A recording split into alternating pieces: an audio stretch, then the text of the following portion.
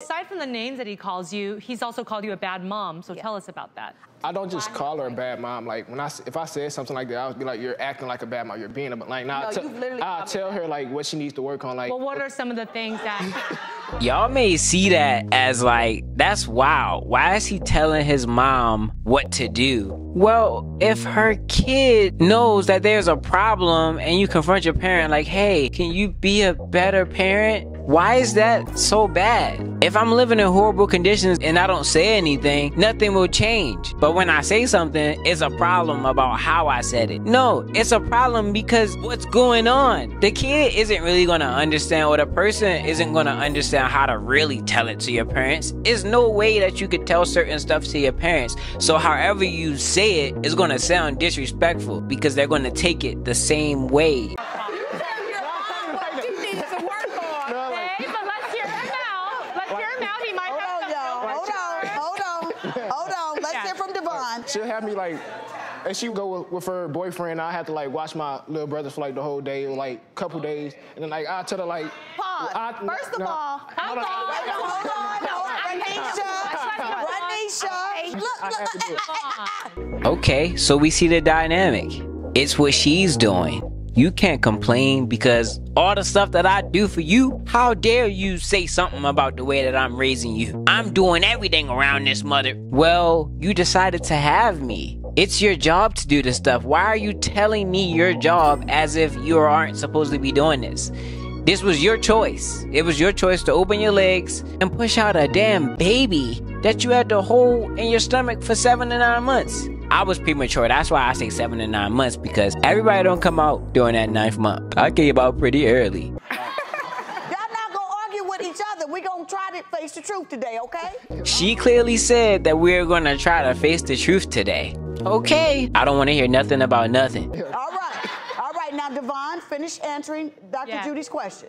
Like I'll be watching my little brothers, and like I tell her like, like maybe you should like start watching them or like be in their life more. Like since you wasn't in mine that much, like you was around, but you wasn't like just really raising Devon, that was Like, mean.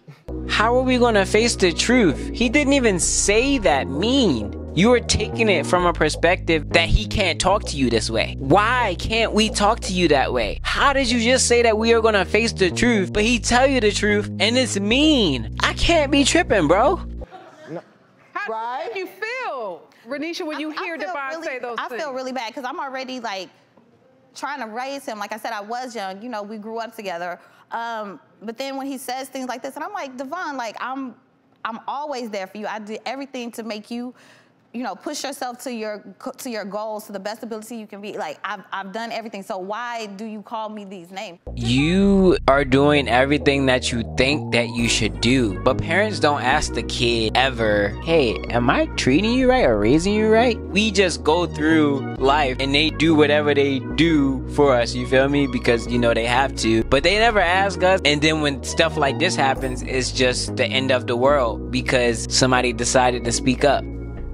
What's so crazy about that? Devon, do you, do you feel that your mom maybe was there throughout your life, but she really wasn't present as a mom? Is that what you mean? More like more like a like a she's more like my older sister, if anything. I wanted her to be like my mom, but that's basically what my great grand my great grandmother was doing. But Renisha, we know you had Devon at 16. So Yeah, she wasn't being a mom. She signed up for the mom role, but didn't know how to be a mom. A lot of women are in that position. They decided to keep the baby and they decide to do whatever they do after the baby has been born. But they didn't prepare to be a mom. They just handled things as things came. And that leaves room for a whole lot of trauma because you aren't taking the baby or the kid that you are raising into consideration at all. tell us what that has been like for you and how maybe that's impacted your relationship with Okay, Devon. so first of all, I had him at 16. I wasn't of legal age, so I had to stay with my grandparents because my mom didn't raise me. Is that an excuse or or understanding for why you aren't present as a mom or actually showing up as a mom? Was that supposed to be like the defining thing and then the women are like, "Oh, so we see why this is happening." No, that was supposed to have been the flame that made you, okay, I didn't have my mom in my life, so when I have a kid, I'll know to do these things. When we are faced with negative situations in life, it would be smart to set your kids up with the opposite things. As if, like, if you grew up without money and you have a kid, you would want to have money so your kid can know what it feels like to grow up and have money. I think that she went through it and then her kid in the same position. Like, she literally lived a life and then set her kid up to live the same life that she lived, but not in a good way. I had to stay with my grandparents until basically I was 18. And the reason why I didn't have him is because my grandparents called CPS on me when I was trying to take him out the house when I, I had just turned 18. And it was like this whole big ordeal because I, they said I was smoking and stuff like that. Not around him or anything like that, but just the But fact. you were smoking? But you were yeah, I, I, I did smoke. Smoking marijuana? Mm-hmm, yeah, Okay, every day? yeah. Okay. Okay. Kind of a problem. It's kind of a problem that you smoke weed every day. 420, it's kind of a problem. She had the baby at a very young age. Problems are going to happen regardless. Keep going. Okay. Well, um, so basically they kind of like deboed him from me, but I was like always trying to be there. So I was there. Like I said, I was at every event. I put him Did in they get legal sport custody? event. Did they- Baseball, basketball, football. I was there. I put him there. I took him to practice. Everything. You know what I mean? do you recognize your mom being there for all your games and the practices? I recognize my great grandpa taking me to my football practices, and I remember them paying for my football and baseball too. Uh, people don't ever take in the children's opinion or how they view their life because the story that he's projecting onto y'all is how he's seen his life. Why would he come all the way up here and tell y'all the life that he didn't live? This doesn't even make sense. He's on TV. Why would he try to lie so much that he is trying to make something up and lie about the situation? That's like trying to tell someone, hey, you know all the stuff she did for you. How do you feel about it? It's not about all the stuff she did for me. This is the reality of how I was living. And they can't understand that. They can't understand it. And people don't understand it. People will never understand your side when you're up against your parents or the people who raised you. They won't understand your side. I, I don't get it. Like she helped too, but I remember them doing a lot of the stuff too. Well, Can you maybe be a little more empathetic since she's acknowledging that she didn't have a mom in her life, her grandparents, maybe a tough relationship? Somebody said it's not his job to be empathetic about how she grew up. It's her job to raise him. And beyond that, he needs to be a complete human being.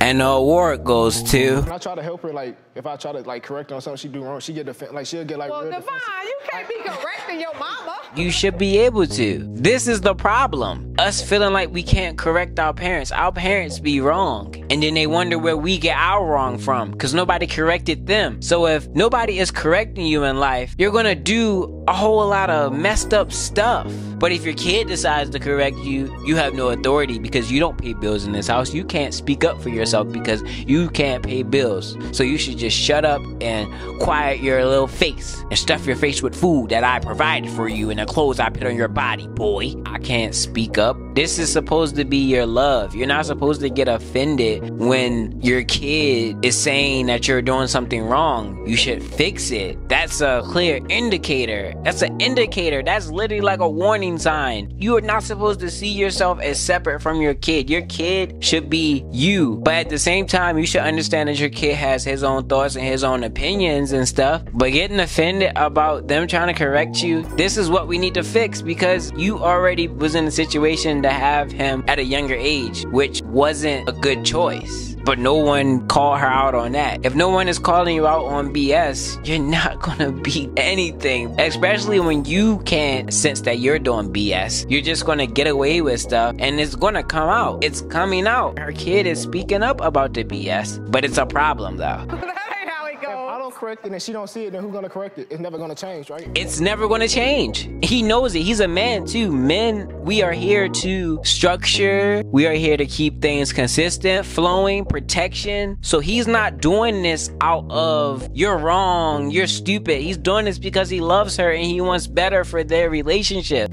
Like last night, for instance, I was on FaceTime with this girl, and she just in the phone like, "Who is that? Who is that? Who is that?" I'm just like, chill, like, Mothers do. Mothers do that all the time, Devon. asking like, why? I'm asking like, why does it matter? Like, like what is it? Because she like, what is it gonna do? So I get mad because he says, why does it matter? I'm like, because Right. I want to know who you're on the phone with at 4 Yes. o'clock in the morning. And morning. that's actually very oh, oh, oh, But look, they're gonna put their two cents and try to invalidate him so much, bro. I already know it because that's the reality that's been passed passed down the generation to generation. Like she had to say 4 a.m. That was her card. You feel me? That was 4 a.m. Oh my God, 4 a.m. You It was four o'clock in Hey, the you morning. conveniently left that part out. It was four in the morning DC time, so it was like That one in the still morning. wasn't one California time. And, and what you doing on the phone with somebody in, in DC at 4 a.m.? This pissed me off because this is the reality. I directly know how it feels to be in that guy's seat. So these kind of videos, I come to them with an understanding of personal experience. I'm not one-sided or biased about everything. I take everything into consideration. This really be the perspective of you growing up with a single mother. Yeah, that's a lot. How old was she? See, now I'm talking like your mom. I actually have to say, Nice Manish, that's a great example of good parenting. That you're monitoring your son and making you. sure you know what he's up to. and you say, Devon, you want a mother. That's what mothers do. But you said you wanted a mom who cares about you. Yeah, I did say that. Maybe this is another bad example of how she's not being a mother.